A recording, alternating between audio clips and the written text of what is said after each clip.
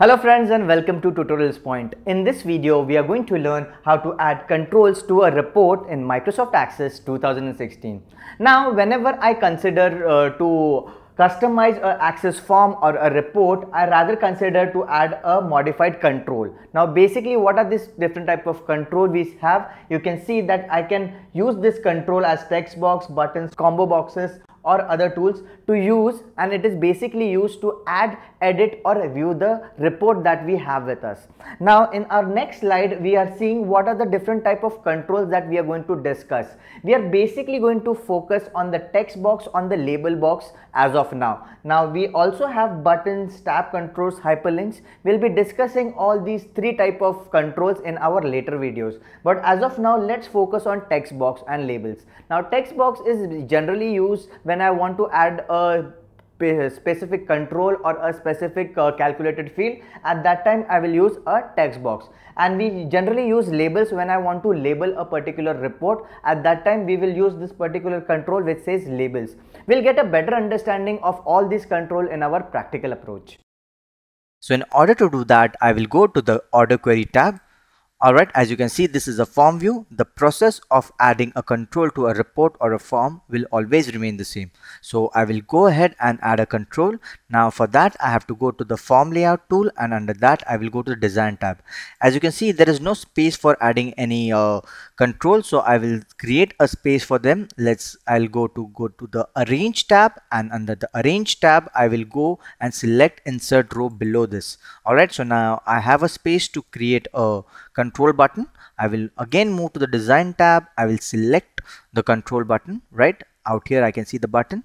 I will say the this button should be out here. The moment I click out here it will always give me a command button wizard which will help me with all these operations. Now let's try to go and create some normal buttons. Let's say I will select record navigation and I want this button to go to the very first record. So if I click on this it will select this particular record. It will always jump to the first record. Let's go on next. Now again out here it is asking me do you want the picture to appear or you want the text to appear? Let's take it the picture as of now and I hit next.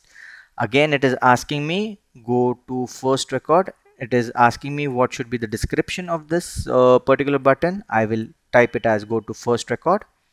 Alright and I'll just hit finish. Perfect. So now my button is created but it is way too long. So I will just adjust the size of this button. So this is how we can add a button. Let me place this here. Let's add more columns so that I can get more and more options. All right. So I will add more buttons to this. This is my for first record. Now if I want to move to the last record the process will again remain the same. I will go to this button tab. I say add a button out here. I say move to the last record.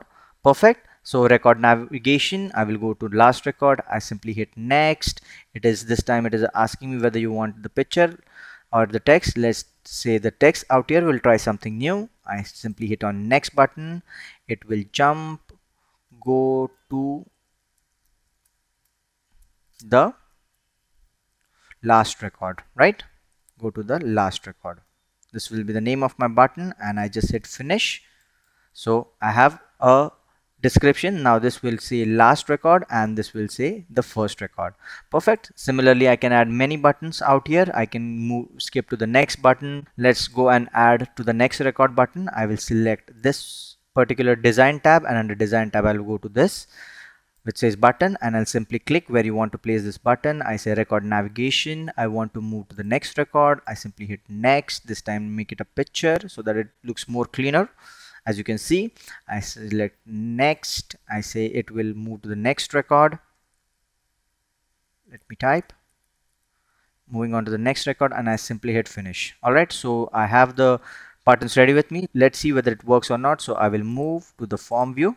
Alright so let's see if it works or not. If I click on this it will automatically get me to the first record. This will automatically take me to the last record. And this particular button will automatically take me to the next record right? So if I click on keep on clicking out here it will show me the next record every time. Alright so in this way you can add control to a report or to a form